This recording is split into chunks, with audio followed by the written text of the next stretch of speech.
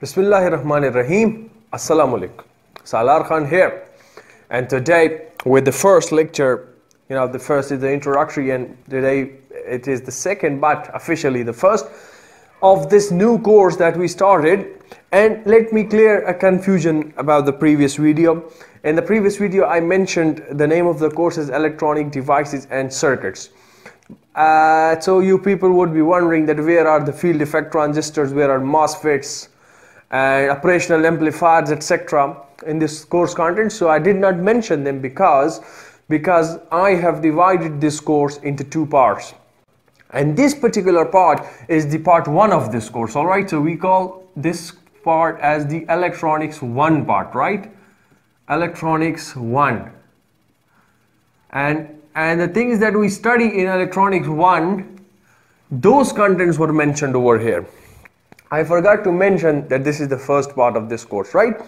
The FETs, the MOSFETs, the operational amplifiers, etc. will be dealing in the second part of this course. We'll have a separate introductory video for that, which will be obviously mentioned in the course contents part of the video. And this is because we, it goes in our university like this, right? Uh, electronics 1 is taught in the fourth semester, and then electronics 2 in, is taught in the fifth semester, which I myself am studying right now. So coming back to the topic, so today it's just again a simple introductory video. You know, you, you know these things, right? We just start a little uh, analysis of semiconductor materials.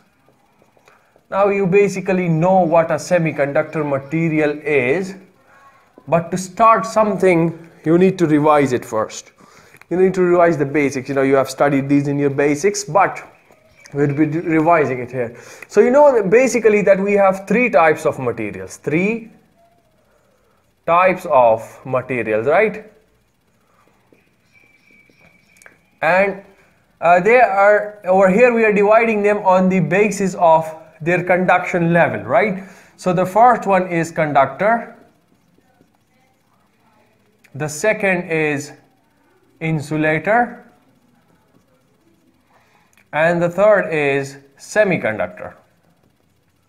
So these are the three types of materials defined on basis of conduction. So let me write over here defined on the basis of their conduction level. And what conduction level? The conduction of electrical current, right? Electrical current. And what is an electrical current? So this is the flow of electrical charges. So we are defining these materials on their uh, capability to allow the flow of charges through them. All right?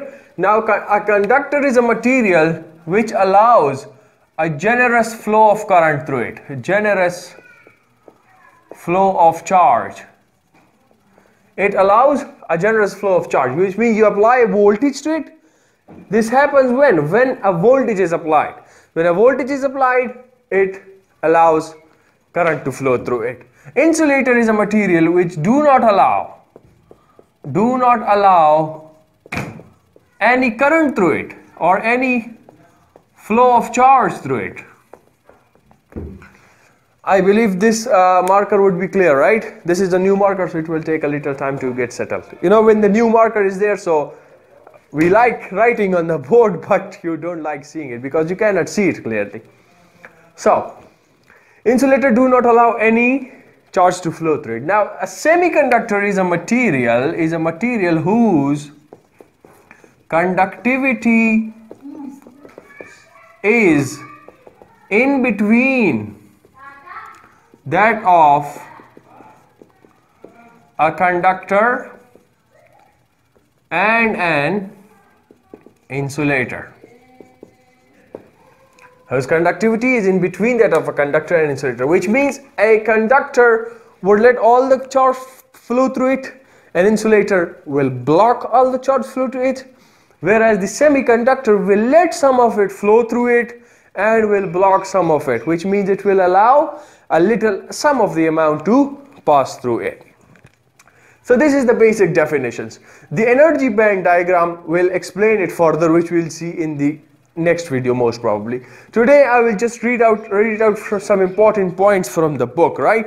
So in this we have a, a, a point in the introduction about integrated circuit that the first IC, the first IC integrated circuit was developed by was developed by uh, uh, let me read out the name is Jack Kilby. Jack Kilby Jack Kilby.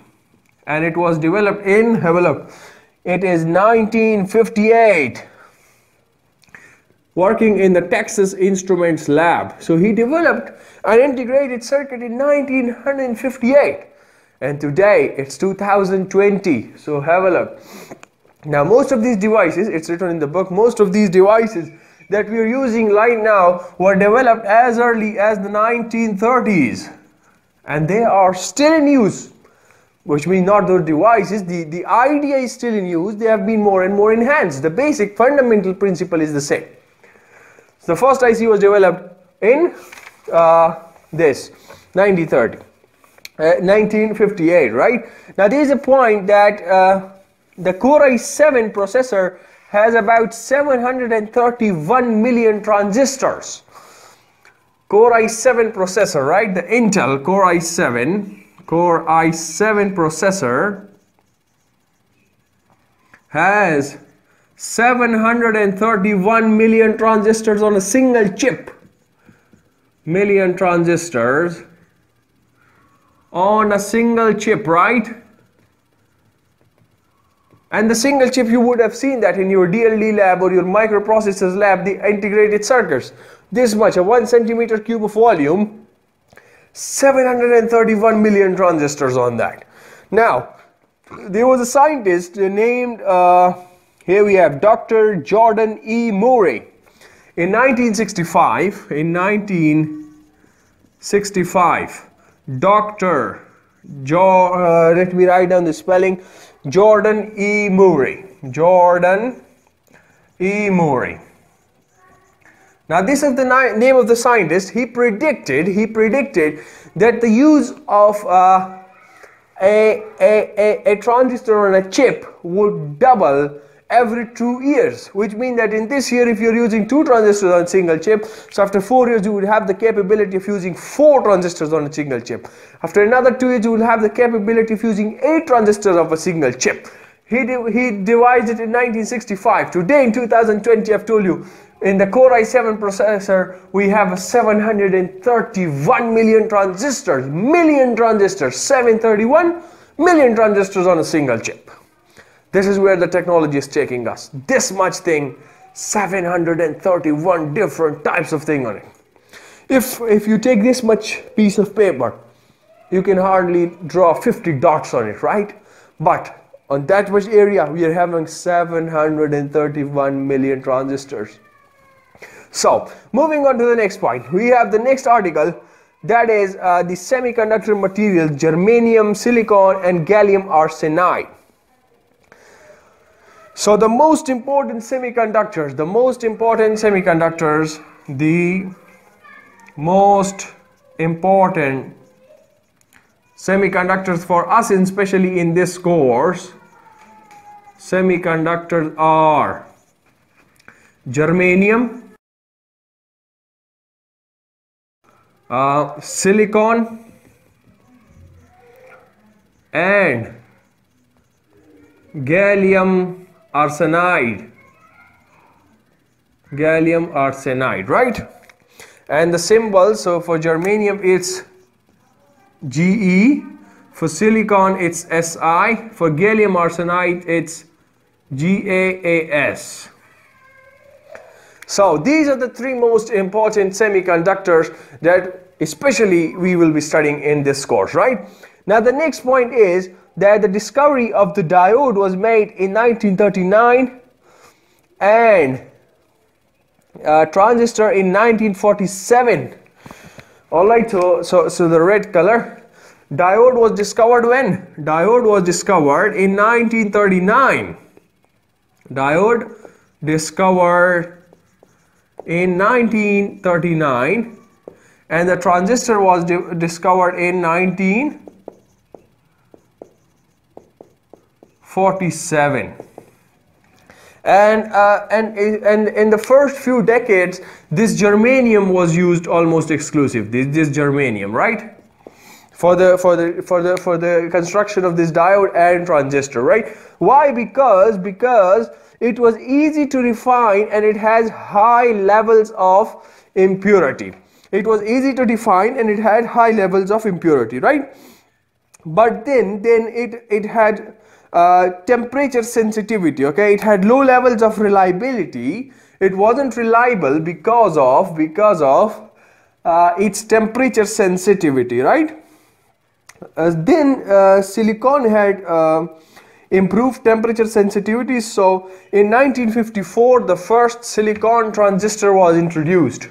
1954 first silicon uh, transistor was introduced. The problem with the germanium was its temperature sensitivity. Temperature sensitivity. Now, as the time passed, we a problem with the silicon because the computers started operating different modern computers they, they operate at a very high and high speed. Similarly other communication systems required high speeds right? And silicon was uh, less temperature sensitive but it, and it is also the most abundant material on uh, present on the earth right? And then the problem with this was of speed right? So let me write this down also that this is a less sensitive material silicon is less temperature sensitive and is one of the most abundant materials on our planet earth. The problem with it was of speed now So now to solve this problem, we, we did what? Uh, uh, the result was the development of the first gallium arsenide transistor in the early 1970s. The, the answer to this is what? The, the, the, the discovery of first gallium arsenide. Discovery of gallium arsenide transistor in early 1970s right? And this gallium arsenide transistor had the speed five times had speed. So where should i write it? Where should i write it? Let me write it over here. Had speed five times that of silicon transistor. Okay is that fine okay so this had the speed five times that of a of a what? Of a silicon transistor. Now this uh, this brief review of the history of the semiconductor materials is not meant to imply that gallium arsenide will be the only material appropriate for solid state construction. Germanium devices are still being manufactured although for a limited range of applications now germanium is left far behind you know but it is still being manufactured but it has a very low range of applications uh, now, uh, again, even though it's temperature sensitive about germanium, it does have characteristics that find applications in a limited number of areas. Given its availability and low manufacturing costs, it will continue to find its place in the product catalogs. As noted earlier, silicon has the benefit of years of development and is leading semiconductor for electronic components and ICs. So silicon is still the major part of these integrated circuits and other electronic equipments. In fact, silicon is still the fundamental block of Intel's new line of processors, right? And I told you that they're using these transistors. In the Core i7, we have 731 million transistors. So that's about the first article. And I believe, uh, wait, discrete and solid state. This is the, the, the terms that we'll be using uh, quite frequently in this course. Discrete and the other is solid state. So discrete mean individual. Discrete means what? Individual. One. This is one individual material. This is a discrete structure of this marker, right?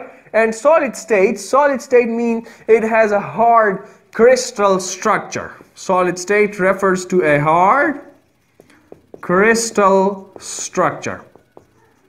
And hard is something you know. And for the crystal structure, stay tuned. We'll be seeing some more details in the next video. For this, I've taken a lot of time, so we'll continue this lecture in the very next one as well. So see you there very soon. Till then, take care. Goodbye.